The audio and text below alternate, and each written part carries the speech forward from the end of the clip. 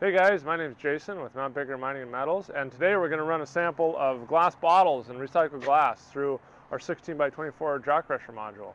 And the goal here is to reduce the volume and uh, also to crush them up and try and liberate the aluminum and the steel pieces and the plastic caps from the bottles that they can then further be uh, processed down the line once they're separated from the glass. So I'll run it through our machine and we'll show you what happens.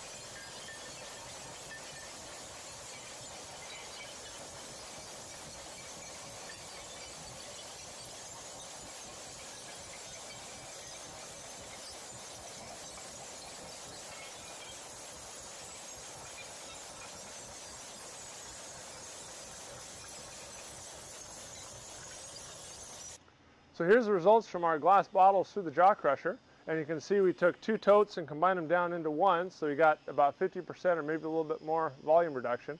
And I wanted to show you guys up close the results here.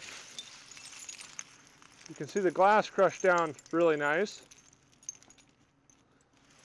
But also, any plastic or aluminum goes right through the jaw crusher, so this can be screened out or eddy currented out. And we also get all the steel lids free from any glass. So this can be brought out with a magnet. So this is the kind of results we were looking for for our glass bottles. I think it was a great test. We got volume reduction and we liberated all the non-glass and the glass particles so they can be separated down the line. So thanks for watching and we'll see you on the next video.